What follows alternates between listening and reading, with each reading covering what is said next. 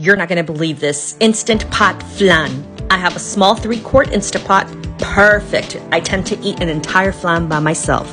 Blend three bread slices without the edges, half a can of condensed milk, half a can of evaporated milk, one teaspoon vanilla, and three eggs. Let's make the caramel topping. Melt 1 4th cup sugar with 2 tablespoons of water. Mix well, let it brown, and remove from heat.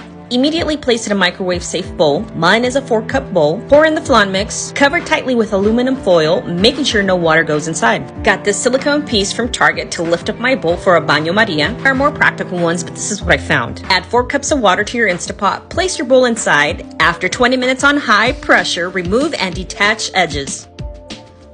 Mmm, doesn't that look good? For full stovetop recipes, check out our channel, Abuela's Kitchen. Provechito!